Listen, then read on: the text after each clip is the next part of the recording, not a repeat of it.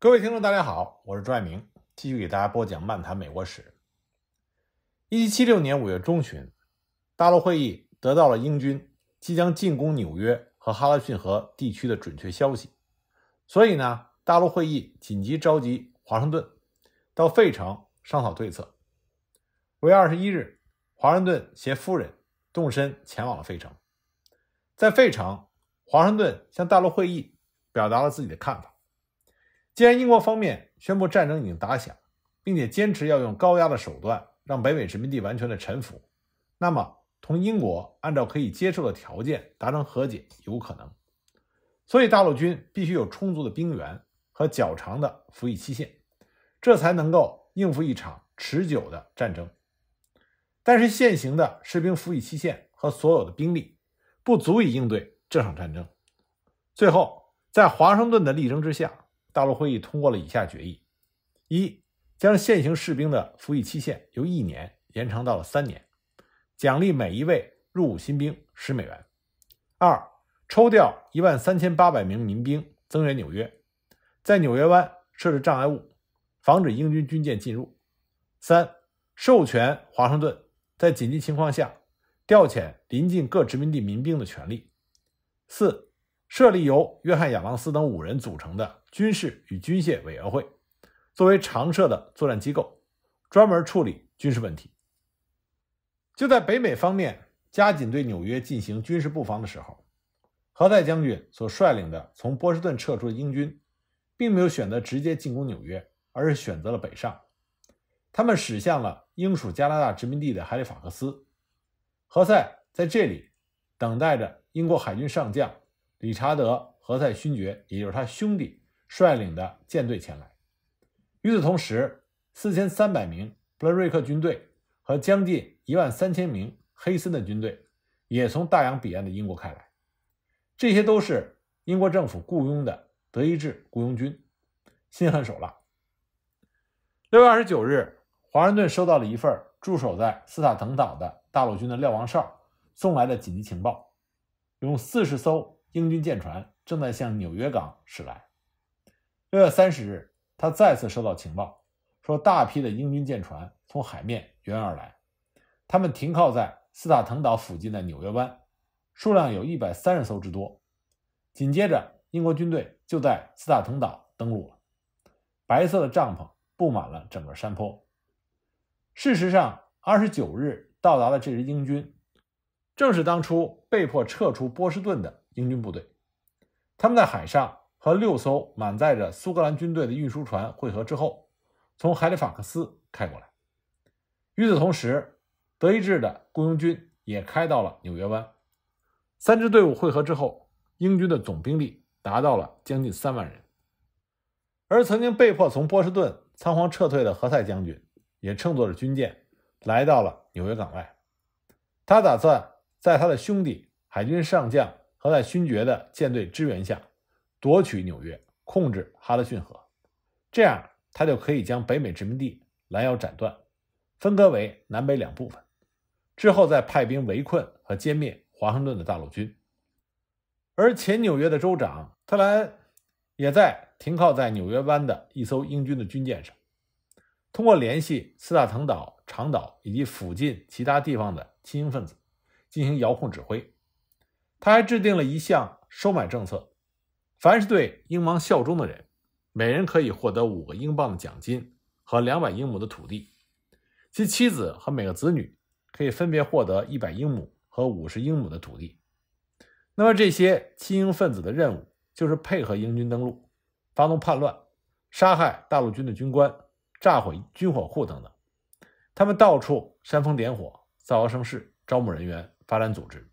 其分支已经延伸到哈德逊河的上游，上游各县很多不法分子都参与到了这个阴谋之中，甚至连纽约市长和华盛顿身边的警卫都被收买了过去。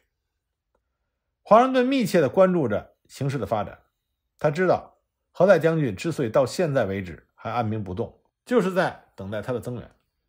华盛顿写信给大陆会议的主席，要求汉考克再呼吁。各省的议会募集一支一万人的机动部队，驻守在东新泽西，作为一支中坚力量，随时视情况的需要，投入到任何方向的战斗。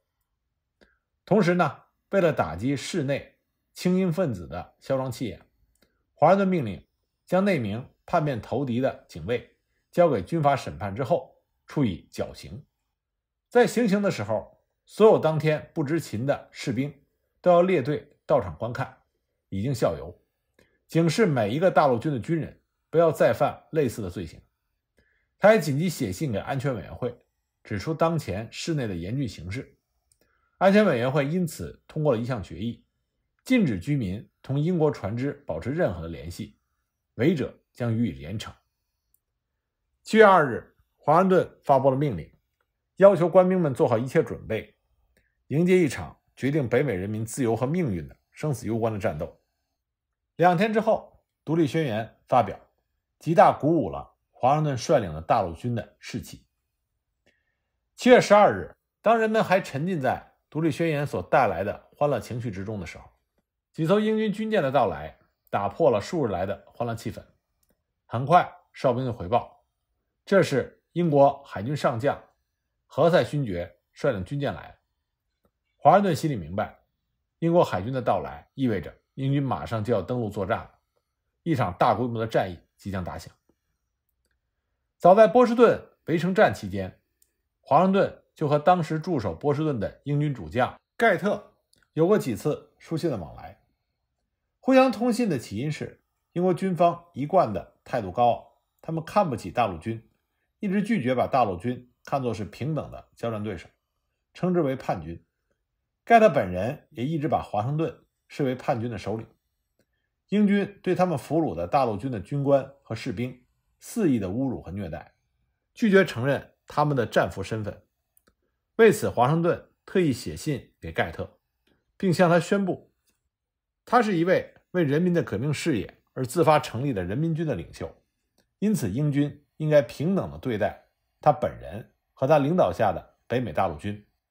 在他同盖特将军的往来信件中，他坚持地要求英军方面应该尊重他作为大陆军总司令的身份，否则他将拒绝接受所有没有写明他正式头衔的公函。七月中旬，英军海军的布朗上尉举着何塞勋爵的旗帜前来，要求会见华盛顿。原来，何塞兄弟仗着自己在兵力和武器装备上的巨大优势，准备对大陆军进行和平的招降。现在，从礼仪上维护华盛顿及其统领的大陆军名誉的机会来了。大陆军的副官长李德上校在海上会见了布朗上尉。布朗通知李德说。何塞勋爵委托他将一封信送给华盛顿先生。李德告诉布朗，美国军队中没有一个叫华盛顿先生的人。最后，布朗拿出了一封抬头为乔治·华盛顿先生的信。对此，李德以用这样的称呼信不能收作为理由，拒绝接受。就这样，布朗上尉带着尴尬和失望返回了英军阵营。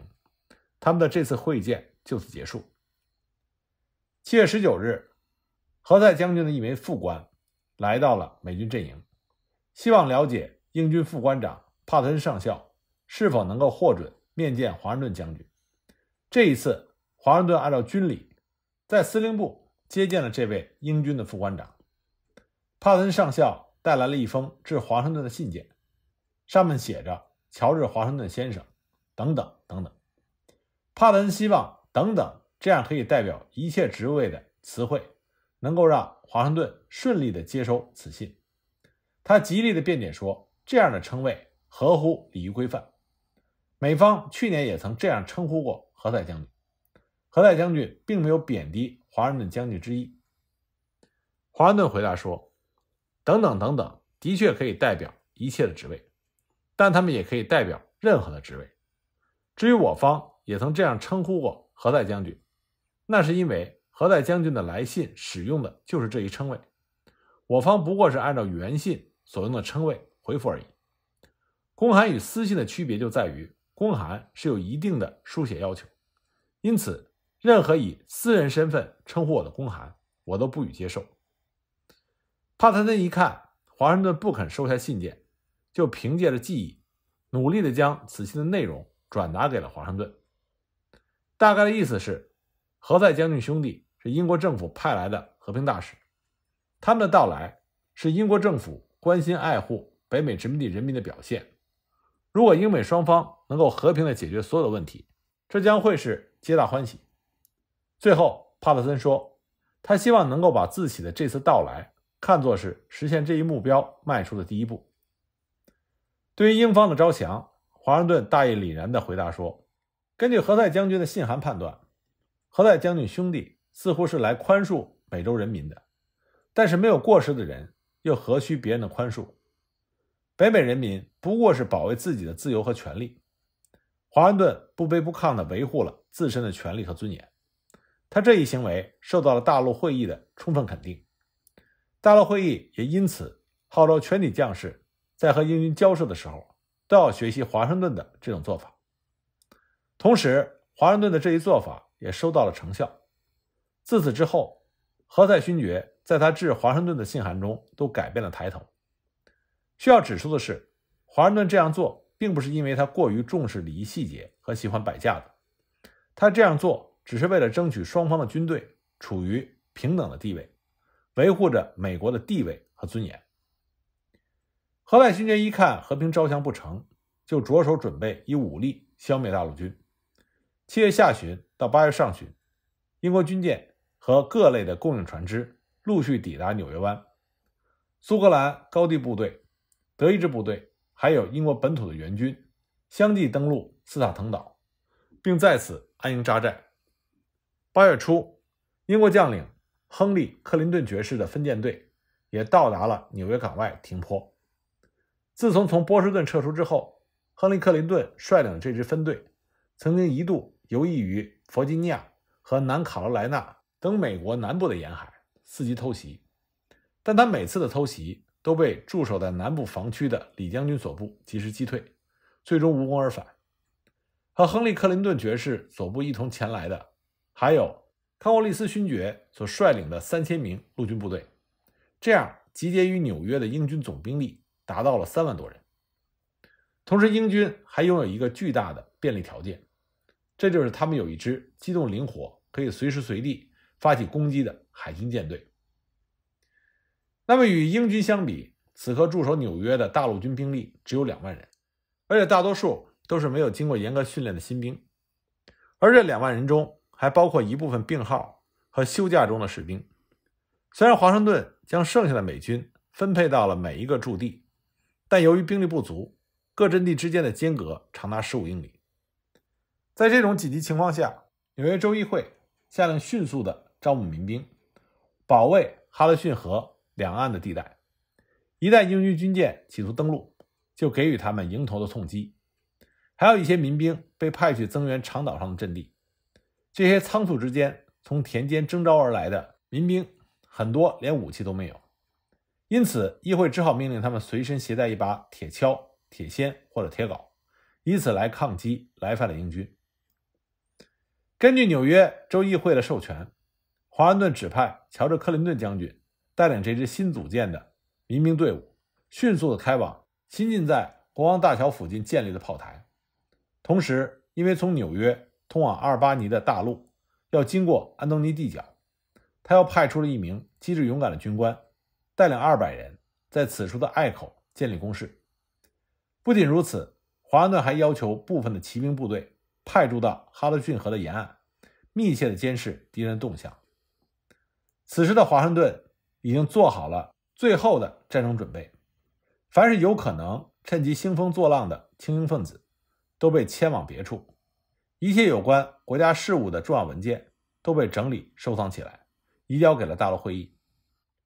华盛顿夫人连同其他曾经给司令部带来柔和文雅和生机勃勃气氛的将领夫人们，也全部被送走。种种迹象表明，一场疾风暴雨般的风暴即将来临，一场大战即将打响。八月十七日，华盛顿收到情报，大量的英军已经备好了粮食，登上了运输舰。种种迹象表明，他们打算离开斯塔滕岛。从普特南那里送来的情报也表明。英军至少有四分之一的舰船已经驶离了斯塔滕岛。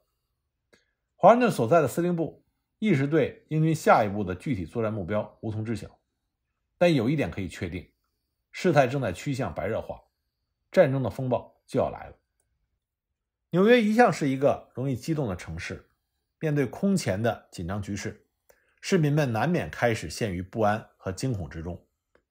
对于市民们的反应，华盛顿在给纽约州议会的信中写道：“由于纽约市在未来不久很可能成为下一场战役的中心，面对这些留在市内的大量的老弱妇孺。”我深感内心的焦虑，可怜的人们怀抱着孩子奔走呼喊的情形，始终在我脑中挥之不去，让人觉得心碎。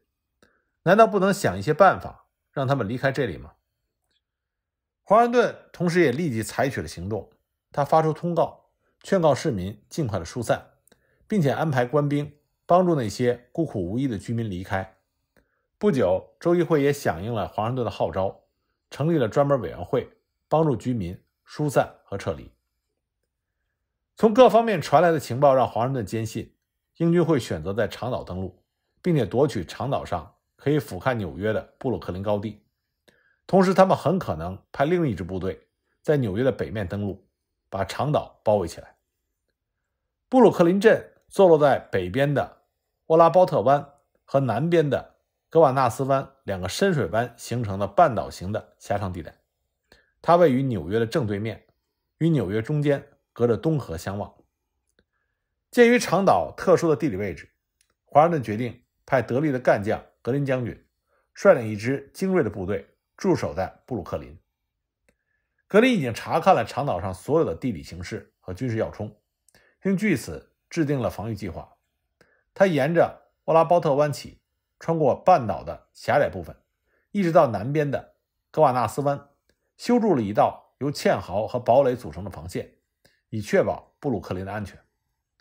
同时，在这道防线前方约两英里半的地方，有一条山脉由西南延伸至东北，形成了横贯这一岛屿的一道天然屏障。